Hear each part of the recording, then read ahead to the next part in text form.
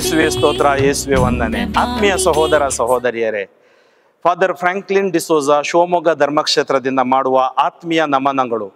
ನಮ್ಮ ಶಿವಮೊಗ್ಗ ಧರ್ಮಕ್ಷೇತ್ರದಲ್ಲಿ ಹರಿಹರ ಎಂಬ ಒಂದು ಸ್ಥಳ ಇದೆ. ಸುಮಾರು ಮುನ್ನೂರು ವರ್ಷಗಳಿಂದ ಕಾಲ ಇಲ್ಲಿ ಒಂದು ವಿಶೇಷವಾದ ಅದ್ಭುತ ಶಕ್ತಿ, ಆರೋಗ್ಯ ಮಾತೆಯ ಪುಣ್ಯ ಸ್ಥಳ ಈಗ ಬಜಿಲಿಕವಾಗಿದೆ ಈ ಸ್ಥಳದಲ್ಲಿ ಮೂವತ್ತನೇ ತಾರೀಕಿನಂದು ತಾಯಿ ಮರಿಯಮ್ಮನವರ ಜನನೋತ್ಸವದ ಈ ಹಬ್ಬವನ್ನು ಕೊಂಡಾಡಲು ಚಾಲನೆಯನ್ನು ಧ್ವಜಾರೋಹಣ ಮಾಡುವುದರ ಮೂಲಕ ಶಿವಮೊಗ್ಗ ಧರ್ಮಕ್ಷೇತ್ರದ ಧರ್ಮಾಧ್ಯಕ್ಷರಾದ ಪರಮ ಪೂಜ್ಯ ಡಾಕ್ಟರ್ ಫ್ರಾನ್ಸಿಸ್ ಸರೋವರ್ ಅವರು ಅದನ್ನು ನಡೆಸಿಕೊಡುತ್ತಾರೆ.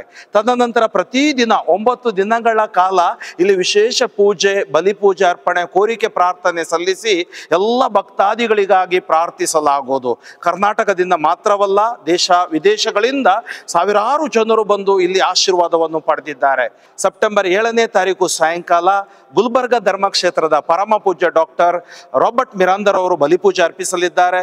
ಮತ್ತು ಎಂಟನೇ ತಾರೀಕು ಬೆಳಿಗ್ಗೆ ಐದು ಕಾಲಿನಿಂದ ಐದು ಹದಿನೈದರಿಂದ ಇಡೀ ದಿನ ನಮಗೆ ಇಲ್ಲಿ ಬಲಿಪೂಜೆಗಳು ಪ್ರಾರ್ಥನೆಗಳು ಇವೆ. ಹಾಗೆ ನಮ್ಮ ಶಿವಮೊಗ್ಗ ಧರ್ಮಕ್ಷೇತ್ರದ ಧರ್ಮಾಧ್ಯಕ್ಷರು ಹನ್ನೊಂದು ಗಂಟೆಗೆ ಬಲಿಪೂಜೆಯನ್ನು ಅರ್ಪಿಸಿ ವಿಶ್ವ ಶಾಂತಿಗಾಗಿ ಪ್ರಾರ್ಥಿಸಲಿದ್ದಾರೆ. ಮಾತೆಯ ಜನನೋತ್ಸವವನ್ನು ಗುರುಗಳ ಧರ್ಮ ಭಗಿನಿಯರ ದೇವ ಜನರ ಸನ್ನಿಧಾನದಲ್ಲಿ ಕೊಂಡಾಡಲಿದ್ದಾರೆ.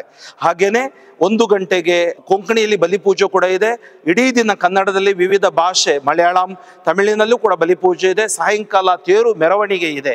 ಎಲ್ಲ ಪವಿತ್ರ ಕಾರ್ಯಗಳಿಗೆ ಈ ಬಜಿಲಿಕದ ರೆಕ್ಟರ್ ಆಗಿರುವ ಅತಿ ವಂದನೀಯ ಸ್ವಾಮಿ ಜಾರ್ಜ್ ಕೆ ಎ ಇವರ ಹೆಸರಿನಲ್ಲಿ ನಿಮ್ಮೆಲ್ಲರನ್ನು ನಾವು ಸ್ವಾಗತಿಸುತ್ತೇವೆ.